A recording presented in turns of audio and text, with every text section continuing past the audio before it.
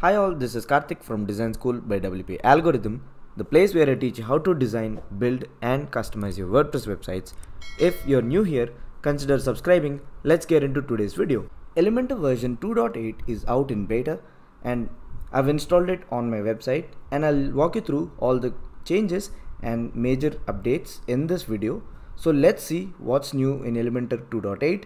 Some of them are for the free version of Elementor and only one or two are the new changes in the pro version of Elementor.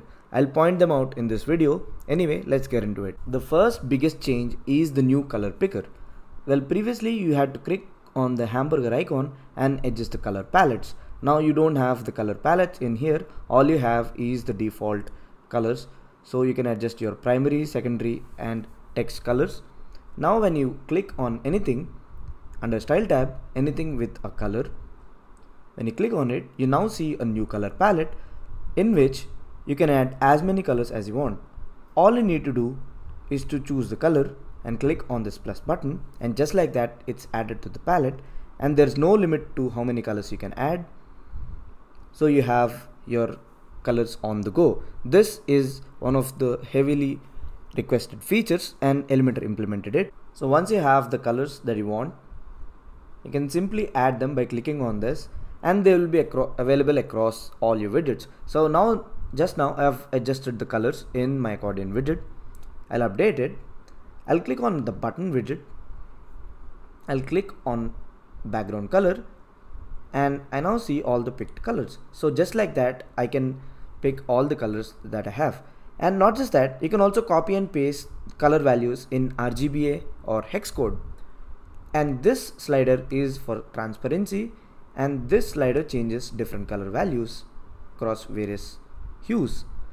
So you can pick the hue you want, click on the color and if you're happy with the color that you have, you can simply adjust that and click to add it to the color palette. So this is one of my favorite new features and it's coming in Elementor 2.8. And the second biggest feature is the dark mode in Elementor interface. So now you can pick the UI theme that you want. You can either pick light or dark and I particularly think dark mode looks really cool. Similar to what you see on iOS 13 on iPhones. So this is really cool all the controls. And this just adds up to user experience and I think this is one of the coolest changes. Not necessarily groundbreaking but the dark mode is really cool. And not just that in preferences you can also select auto detect so it will change the interface based on the time or maybe your OS setting maybe if you're working with Mac OS or maybe Windows it will detect somehow I don't know how it's gonna do it but it's gonna detect it and change the interface to light or dark based on how you work. And I'm personally going to use dark mode across my workflow. This is one of the coolest features. Again, it's here in Elementor 2.8. And third new feature is better responsive controls. So when you hide an element on various devices, it's clearly visible no matter if you minimize the side panel or have it. For instance, I'm right now in my desktop view.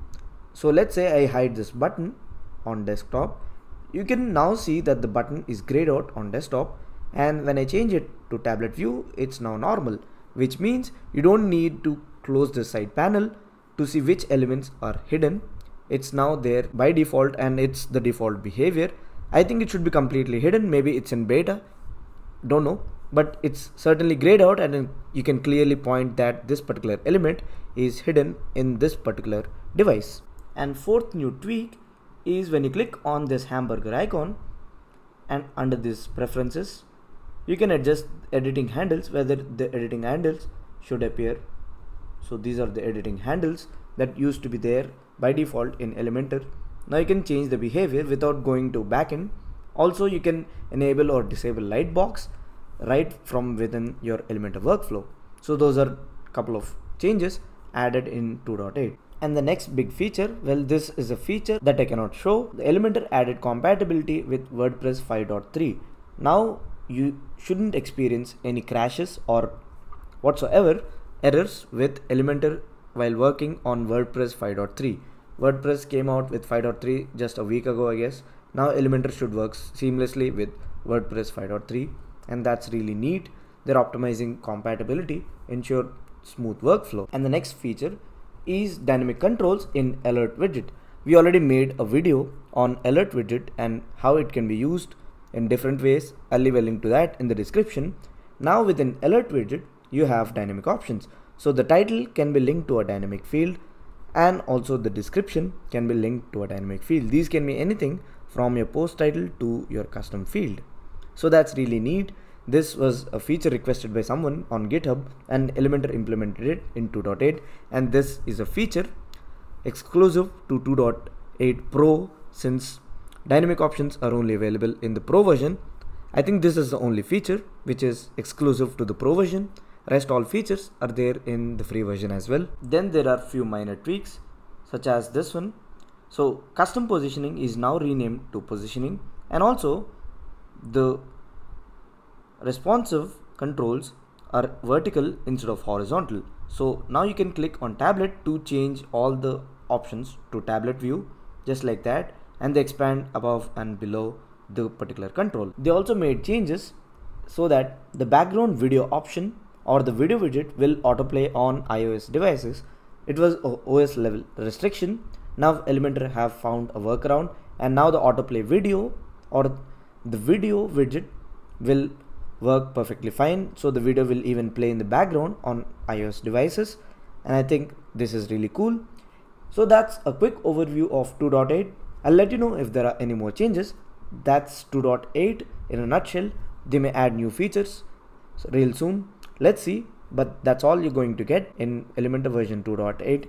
And like I said, the only feature which is exclusive to the Pro version is dynamic options in the alert widget and this positioning thing.